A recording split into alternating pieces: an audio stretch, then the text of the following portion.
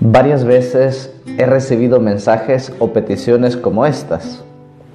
Padre, envíeme una oración porque estoy en crisis. Envíeme una oración porque mi esposo es alcohólico. Envíeme una oración porque tengo una crisis económica. Y así, peticiones como esas, creyendo que la oración es magia, que hago esto y Dios me responde esto si yo cumplo con esto, Dios tiene que cumplir con esto.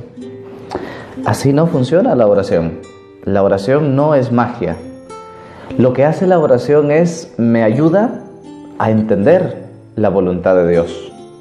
Y no al contrario, no es que yo le impongo mi voluntad a Dios.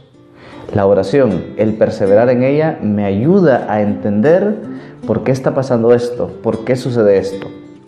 Por eso la insistencia de la oración, porque a través de la oración voy comprendiendo muchas cosas en mi vida, el sentido de esos acontecimientos en mi vida. Fíjense el Evangelio de este día, Marcos capítulo 4 del 26 al 34. Dijo Jesús a la gente, el reino de Dios se parece a un hombre que echa simiente en la tierra. Él duerme de noche y se levanta de mañana la semilla germina y va creciendo sin que Él sepa cómo. Ese es Dios en nuestra vida. Él actúa sin que nosotros sepamos cómo. A veces queremos encerrar a Dios en nuestra esfera, en nuestros esquemas. Es más, queremos encerrar a Dios en nuestro tiempo y Él es eternidad. Y queremos entonces hasta ponerle muchas veces plazos a Dios es que le estuve pidiendo tanto tiempo y no me respondió. No, el reino de Dios, cómo actúa Dios en nuestra vida, es como la semilla. Nosotros nos encargamos de que esa semilla caiga en terreno fértil y de ahí Dios se encargará de dar frutos. Dios se encargará de hacer fructificar esa palabra en nosotros.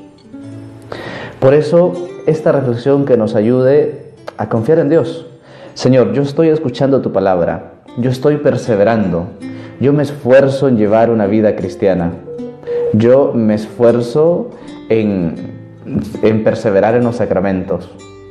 No sé cómo vas a actuar, pero yo sí sé que vas a actuar. Así como esa semilla que no sé cómo se desarrolla, pero que da frutos, lo mismo en mi caso, yo me acerco a ti porque confío en ti.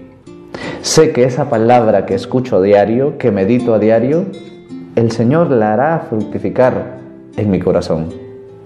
No intentar meter a Dios en nuestros esquemas, no intentar ponerle plazos a Dios. Él sabe cómo, cuándo y dónde actuar. Que el Señor te bendiga. En el nombre del Padre, del Hijo y del Espíritu Santo. Amén. Que tengas un excelente día. Soy el Padre Santo.